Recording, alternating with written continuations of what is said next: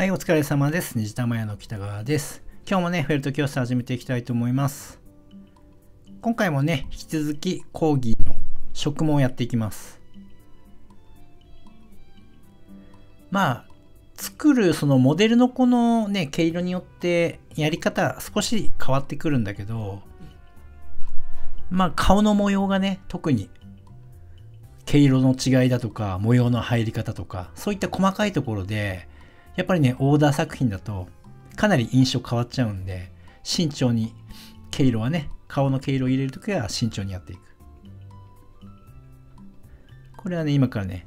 まぶたの上に植毛していきます。特にこのまぶたの上ね、あの、僕はね、これね、スピード針でね、針先でトントントントンってこう押さえるようにね、深く刺さないようにして、貼り貼り付けるっていうかね、最初の状態はこうスピード針で貼り付けてあげる。で、レギュラーで今みたいにこうやって刺していって、で、また今これはスピードに持ち替えたり、レギュラー持ち替えたりでこうね、まず初期段階で押さえ込むこと。で、最終的に仕上げで、仕上げ針でこう刺して綺麗に見せてやる。これもね、今、一発目はスピード針でやってます。これあの、フォルダーの先っちょに青で色つけてんだけど、これであの、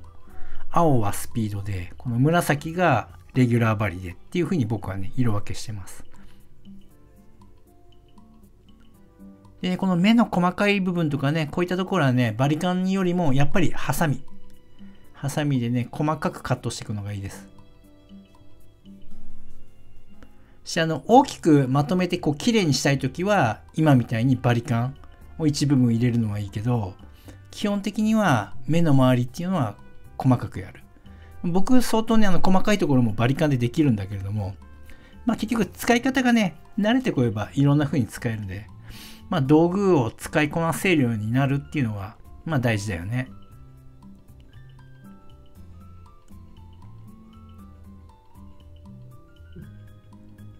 なるべくね、ハサミ入れるときも、あの、段にならないように気をつけて、うん、入れてあげると。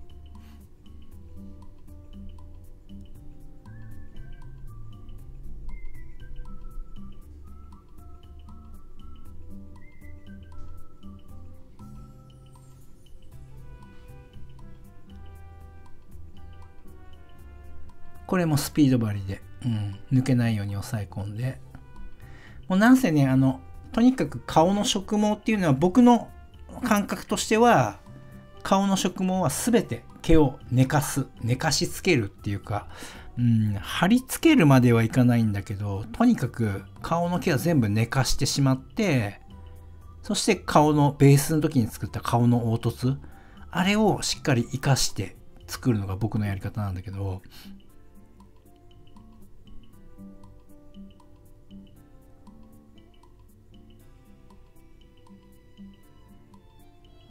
こうね、頬骨のとこあたりもこう凹凸があるから、しっかりその凹凸に合わせて刺し固め、刺し固めじゃないね、刺してあげて貼り付けてあげる。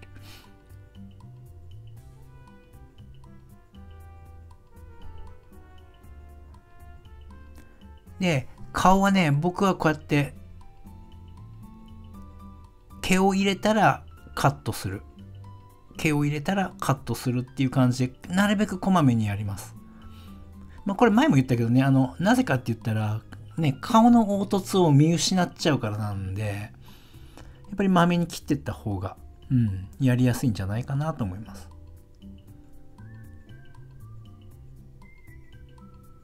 僕ほんと初めの頃はね、もう顔全部、全部植毛してからもうマリモのようになった状態からハサミでカットしていくっていうやり方をやってたんだけど、もう意味わからなくなるから、うん、やめたんだけど。でね、ちょっとこう、凹凸があるところなんかは、まあ、後からね、全部入れるのもいいんだけど、こう、こまめに、こういう風に今みたいにね、刺して、凹凸を出してあげる。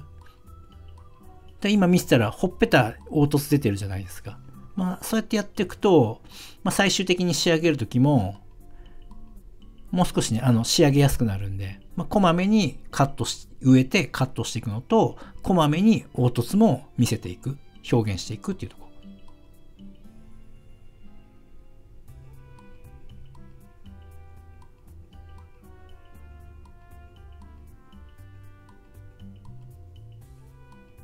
ろ。仕上げ針でね、必ずあの仕上げ針入れていくね、顔、顔面は。なぜかって言ったら、太い針入れたら、やっぱり針の後、穴が残っちゃうから、それを消すためにも、必ずスピード針使ったり、レギュラー針使ったりするけど、最後は仕上げ針で、ちゃんとね、穴を消すっていうか、針の跡を消すようにしてあげる。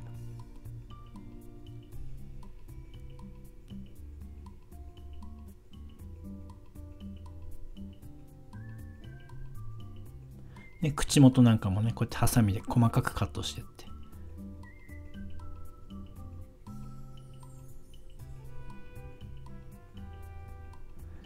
まあ、この辺もね、めんどくさいから一気に行きたくなるんだけど、まあ、なるべく細かくやっていった方がいいです。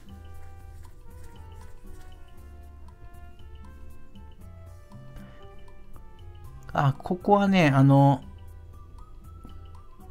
この辺はメリノにコリデールを混ぜて、ちょっとこう、貼り付きやすい状態にしてますね。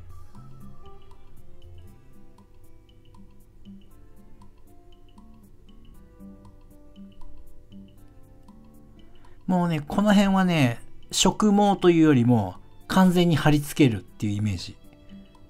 で僕はやってる。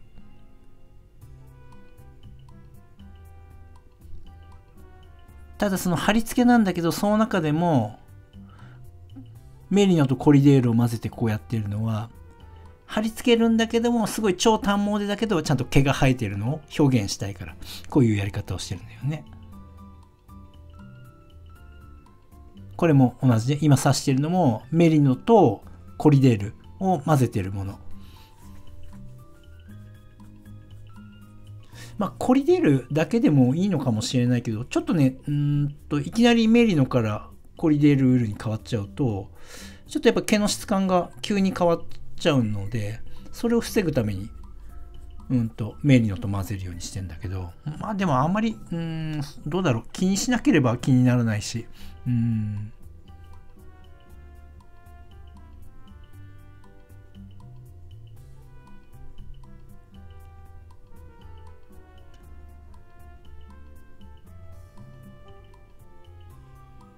これはね、今仕上げ針で押さえ込んであげる。上から毛を。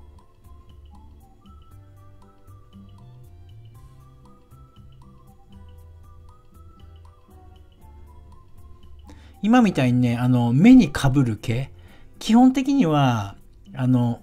しっかり刺して追いやってあげた方がいいんだけど、どうしてもね、跳ね返ってくる毛があるから、そういうのはもうハサミで今みたいにカットしちゃう。これね、鼻の筋の部分ね。鼻筋の部分は、さっきから使ってるメリノ、それからコリデールを混ぜたものをペタッと貼り付けて、ここもね、もうこまめに貼り付けていきます。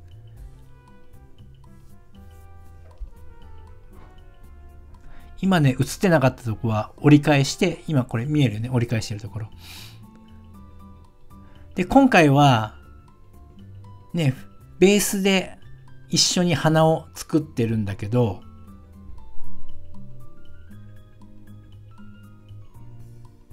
うん、見えないね。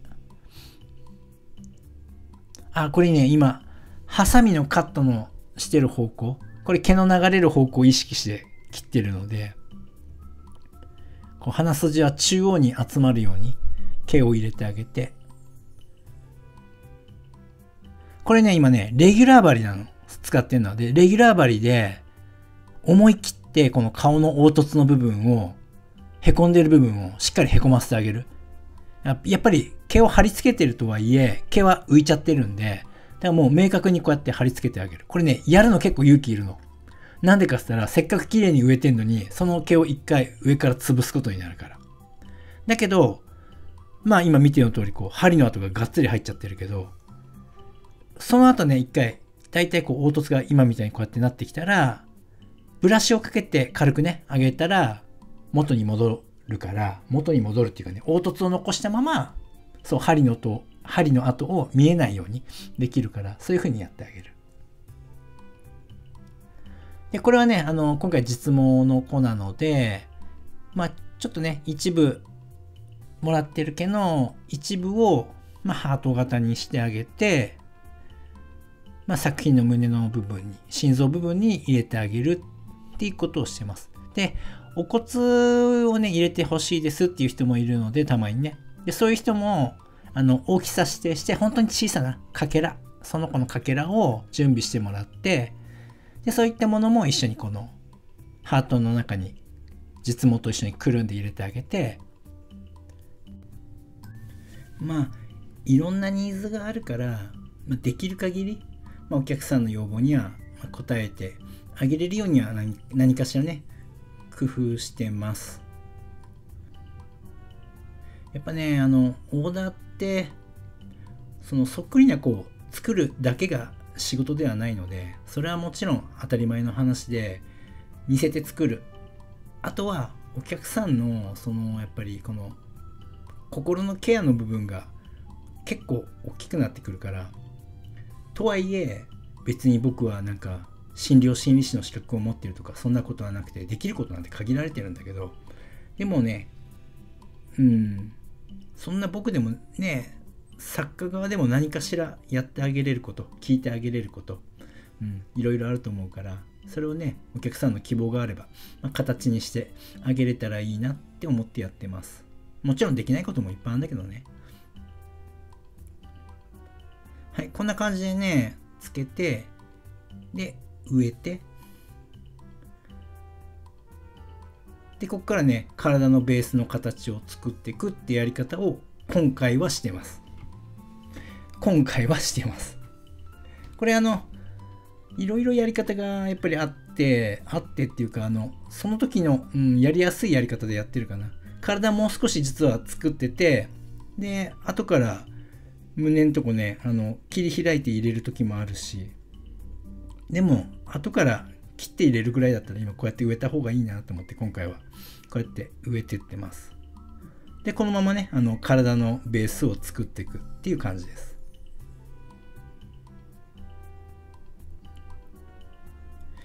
でね、今回ちょっとやっぱ作って思ったけど、顔の植毛する前に、まあ、手足は最後につけるんだけど、体のベースはね、やっぱりね、あのある程度作ってた方がいいです。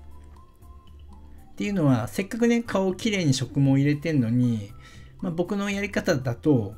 今回のやり方だと、あの、結構ね、顔の毛ボソボソになっちゃう人いると思うので、あの最初の頃なんて特にねあの不慣れな人僕は慣れてるからこれでもあの顔の状態ある程度キープしたままできるしあの後から何ぼでも修正できるんでやってるんだけどで今お腹膨らませてんだけどこんなことねあの顔の植毛前にやっておけばね何ら苦労しない話なので今回の子はねちょっと肉付きのいい、まあ、ちょっと小太りの子なのでちょっと体格をいい感じにしていきます。あんな感じね。